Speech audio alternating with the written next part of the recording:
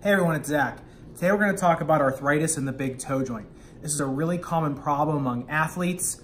Um, you normally this presents with a lot of burning and throbbing, especially when the shoe is bending when you're walking, especially with sports, tennis, serving, split stepping, moving back and forth. When your shoe is breaking right here, right on the joint, you're gonna get a lot of pain right in here.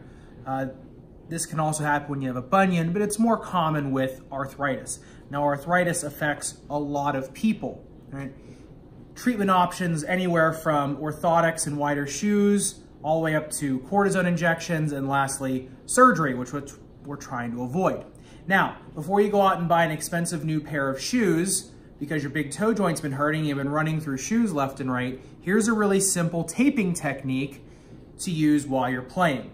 Now this is kind of a hybrid basket weave technique, basically just to brace the joint so it's not moving as much uh, when you're on the court. This can really give you a few more years of life out of the big toe joint before you have to start going to things, cortisone injections uh, or surgery, which we'll talk about in another video. Okay. So uh, I love using the one and a half inch tape because I can pretty much make anything I want out of it. So I just take a couple strands and we're gonna do the one and a half inch and then we're just gonna take it down the middle. Now, for these tapings, I never use pre-wrap. Uh, I feel like that doesn't give you uh, as much life out of the taping. Most taping is gonna give you a solid 45 minutes. That's about it, and that's with tape contacting the skin directly. Uh, and pre-wrap gives you an interface between the tape and the skin, so then the tape's gonna last even less time. Um, some people like to do the adhesive spray first, the, uh, the prep spray. That's all well and good. Keep it away from the web spaces, keep it away from in between your toes, because you can end up with athlete's foot. So like I said, this is gonna be a hybrid basket weave technique. I made these a little long just for demonstration purposes. You don't have to do it this way.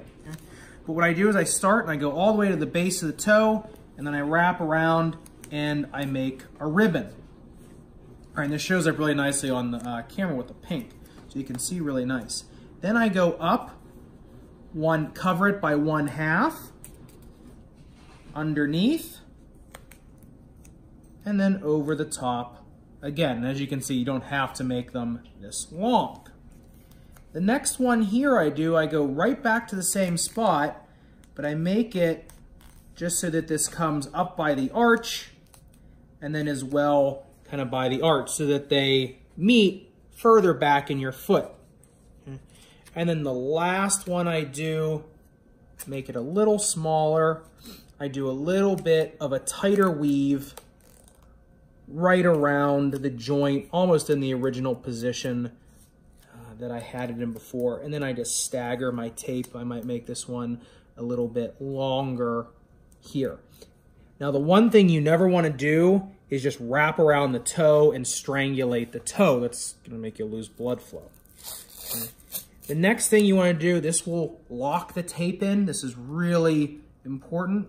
Right at the base of the big toe, just take the tape at its one and a half inch. You don't have to cut it or anything. Bring it around, okay, and tear. And that's it. If you want, you can cut this off here or just put your sock on it over top and you're fine.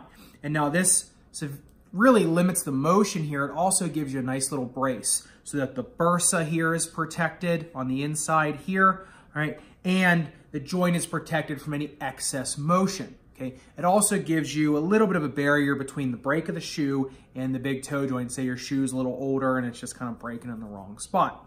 So like I said, this is a good, takes a minute and a half to do this. Once you get good, it takes even less uh, to do before you go on the tennis court. Could really save you from some pain and save you from having to come into my office as quick.